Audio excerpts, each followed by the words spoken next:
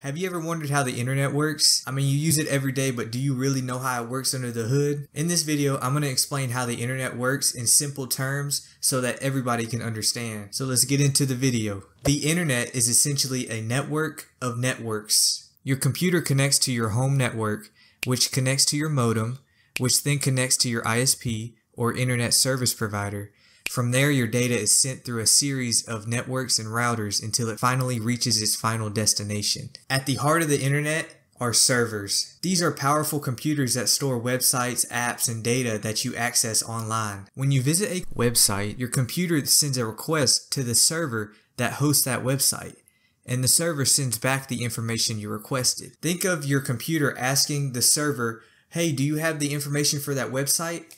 And the server will be like, yeah, I do. Here you go. Your web browser is the tool that you use to access the internet. It sends the request to the servers and then receives the information back. And then it will display the information in a way that you can understand. And you may be asking, how does all this data come back and forth through the internet?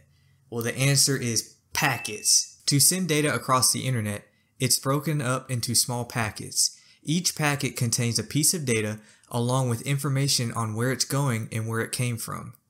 These packets are sent through the internet until they have reached their destination, where they will be reassembled into the original data. You could think of packets of how they work through the internet the same way as our mail system works. When you have a message or data to send to your friend, first package it up into an envelope so it doesn't get messed up along the travels.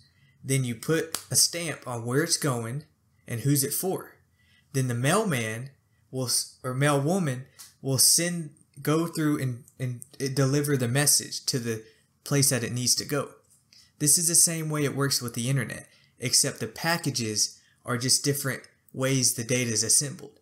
So your message will be packaged up into binary and then sent across wires. When the receiver receives it, it will unpackage it into a way that you can understand. There are a lot of different technologies that make the internet work, and I'm just talking about the surface level stuff here. But at its core, it's all about sending and receiving data. Whether you're sending an email, watching a video, or playing a game, it all comes down to information and data being sent and received across the internet. And that's how the internet works, guys. I hope this video helped you understand a bit more about how the internet works. And this video only scratches the surface of the in-depth intricacies of the internet. Leave a like if you like the video. Comment down below some cool things that you know about the internet. And subscribe, guys. And I will see you on the next one. Peace.